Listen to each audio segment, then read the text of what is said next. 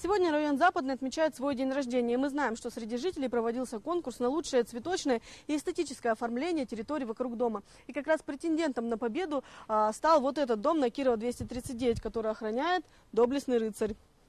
В палисаднике поселилось много различных животных, тут и домашние, и экзотические. Даже лебедь плавает.